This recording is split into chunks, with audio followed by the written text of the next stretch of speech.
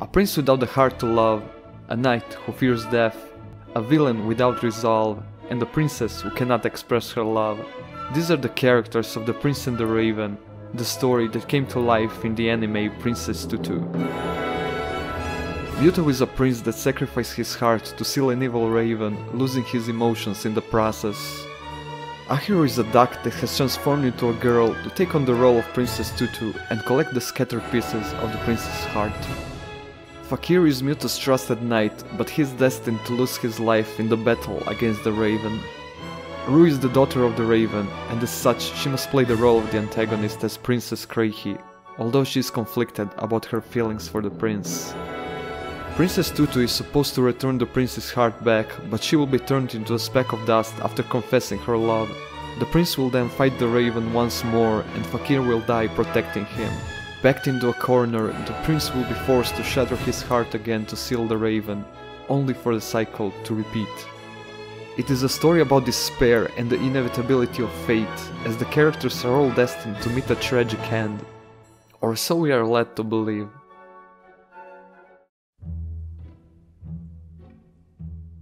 There is in fact a hidden villain, Drosselmeyer, the author and narrator of the story. What the characters perceive as fate is actually the author's will, as he is the one pulling the strings behind the scenes. Drosselmeyer manipulates the events of the story either through direct involvement or through Edel, a puppet whose purpose is to guide the characters towards their fate. As the author of the story, Drosselmeyer decides what roles the characters play in his magnificent tragedy. From the beginning, Drosselmeyer's story follows a cyclical structure, a formulaic sequence of events designed to evoke a strong emotional response from the audience. A troubled character will hold one of the shards, and it will be up to Princess Tutu to help them solve their issue and return the shard back to the prince. Mytho wants to regain his heart, but every time he gets an emotion back, he inevitably ends up suffering. Just like the main story, the side stories build upon the theme of cyclicality, as they end on a bittersweet note, after which we are returned to the main plot where our protagonists are still left struggling to avoid their tragic fate. By episode 13, which marks the end of the first half, we get to the climax. Princess Kraehe and Princess Tutu fight over Mytho's heart to see which one of them will be loved by the prince, while Fakir ends up seemingly dying in the fight against Kraehe. Confessing her love to Mytho is the only way for Princess Tutu to save him from Princess Kraehe's grasp, but doing so will turn her into a speck of dust and ultimately seal her fate. Just as the story seems to approach its hopeless conclusion, Princess Tutu comes up with a way to confess her feelings to the prince without using words. Instead, she chooses to communicate her love through dance. The heart shard of love is thus returned to the prince, Tutu is spared of her tragic fate, and even Fakir manages to avoid his death, as Edel defies Drosselmeyer's will and sacrifices herself to save the doomed knight. Just as it appears that the characters manage to achieve their deserved happy ending, the idyllic scene is interrupted by Drosselmeyer's narration. Oh, な与えられた役割を超え運命に逆らうには痛み苦しみが伴う誰もそうしたがらない皆ほど知らずにもそれを乗り越えてよく頑張ったよアイルちゃんだがそれもまた決められた運命だったのかもしれないよだってお話はまだまだ終わっていないんだからねあ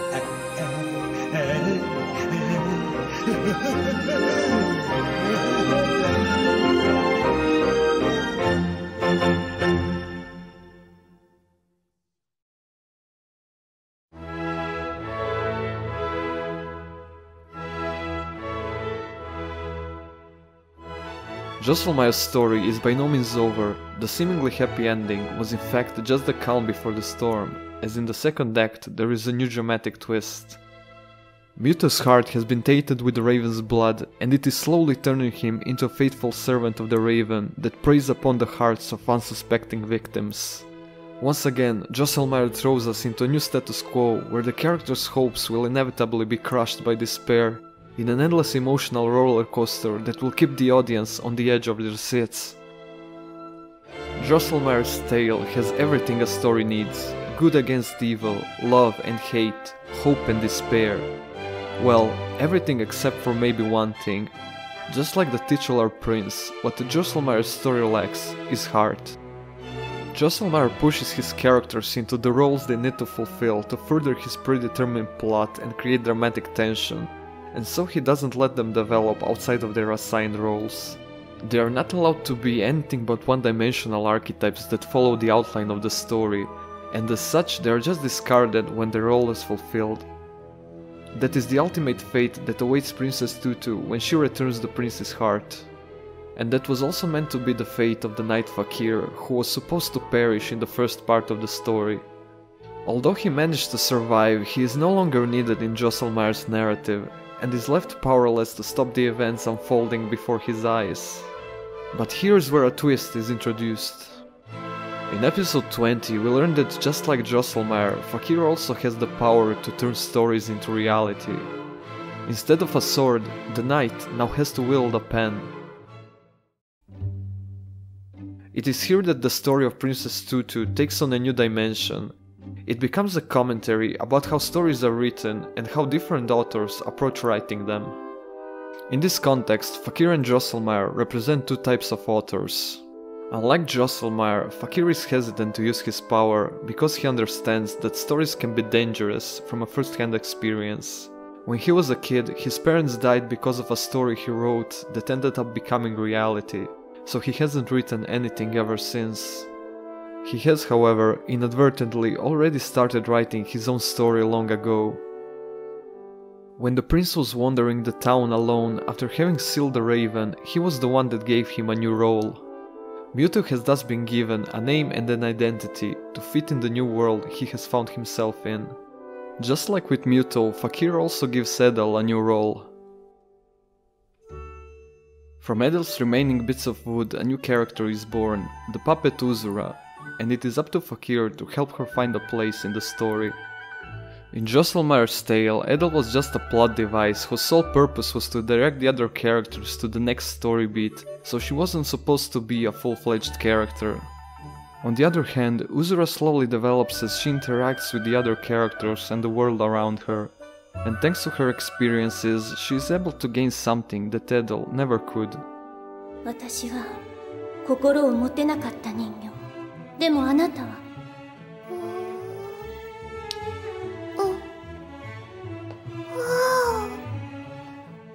It goes without saying that when stories are written, there has to be an outline for the roles of the characters and the progression of the plot. However, Drosselmeyer adheres to the outline too rigidly, so his characters end up being one-dimensional puppets that are trapped in predetermined roles. But when Fakir finally starts writing to save Ahiru, the words come naturally to him without prior planning.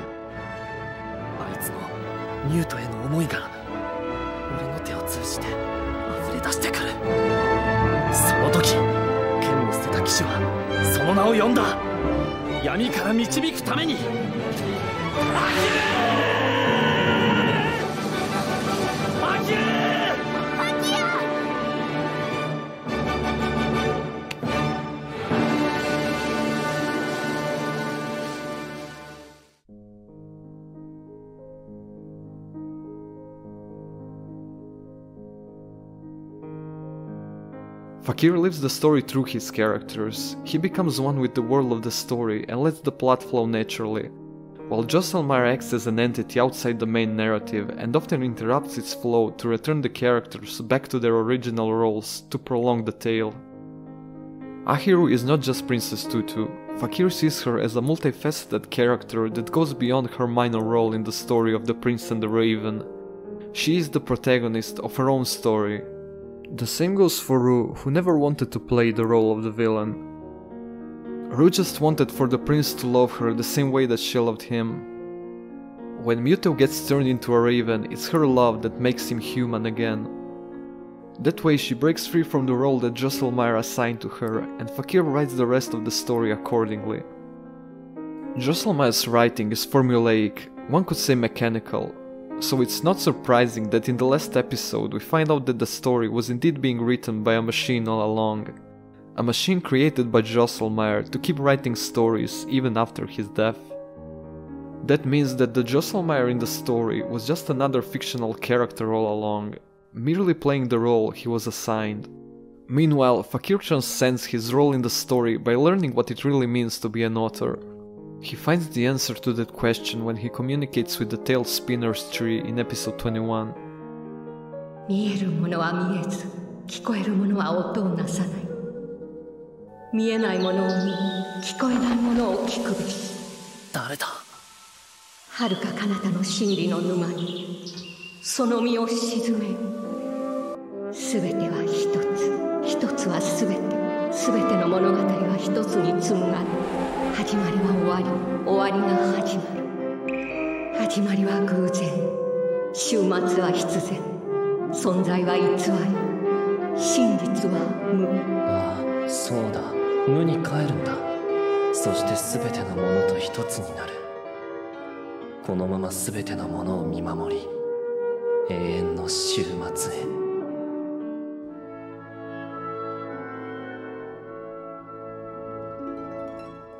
Having a plan in mind is indeed useful, but sometimes a flash of inspiration is all that is necessary to start writing a story.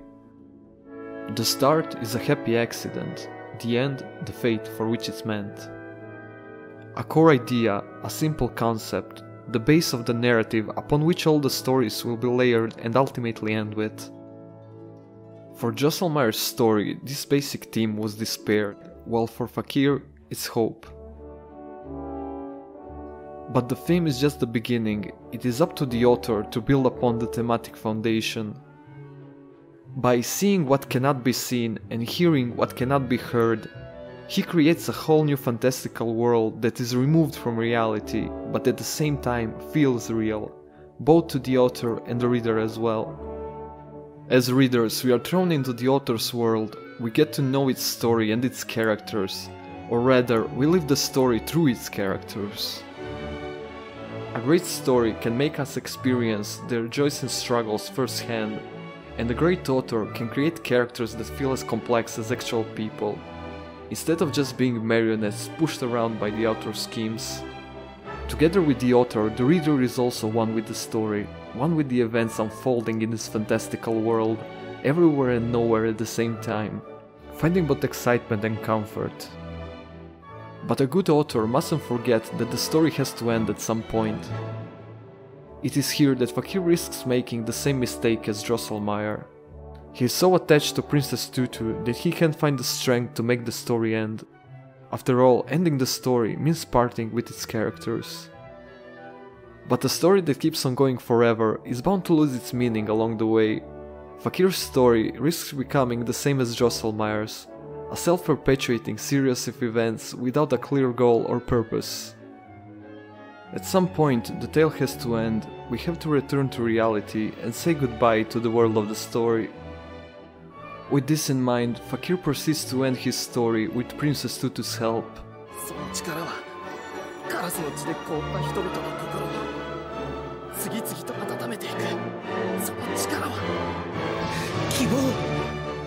What was supposed to be the ultimate tragedy, a story about an endless cycle of despair, has turned into a story about the power of hope. From the embodiment of inevitable despair, Fakir turns the tragic character Ahiru into the embodiment of undying hope. Thanks to Ahiru's resolve, Mytho saves Rue and together they defeat the Raven once and for all. And so, Drosselmeyer's plans are foiled, and the story finally approaches its long overdue ending. It's time for Fakir, and for us as well, to say goodbye to the characters we got to know through our bittersweet journey. Mytho and Rue fly back to the world of the story, while Ahiru returns to being a regular duck. Everything is as it was before the story started. Ending a story brings a sense of accomplishment and closure, but it also brings a certain degree of sadness for the world we are leaving behind. However, the ending of a story brings on the beginning of another. One door closes, but another one opens. It's time for Fakir and for us as well to move on to a new story. and hopefully it'll be as amazing as the last one.